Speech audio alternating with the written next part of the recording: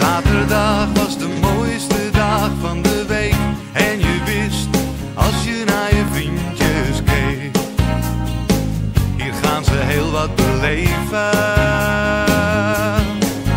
En de trainer riep, samen is niet alleen, maar eenmaal op het veld vergat je dat meteen. We waren zeven.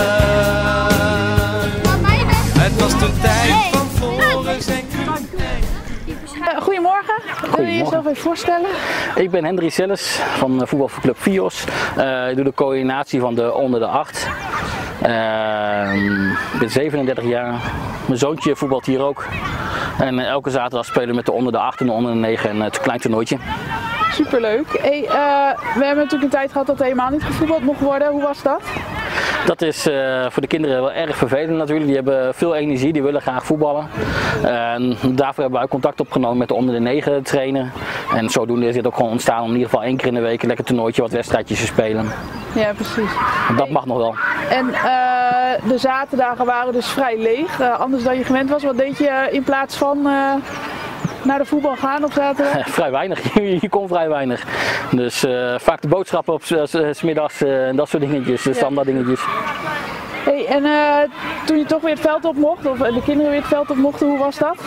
Ja, de kinderen waren erg enthousiast. Die vonden het erg leuk. En als je kijkt, in het begin hebben we ook gewoon het vrijgelaten met kom je wel, kom je niet. Omdat toch voor iedereen de eigen afweging moet maken eh, in deze situatie als ze wel of niet eh, komen. En je ziet gewoon gelijk dat eh, bijna iedereen gewoon komt en iedereen er zin in heeft.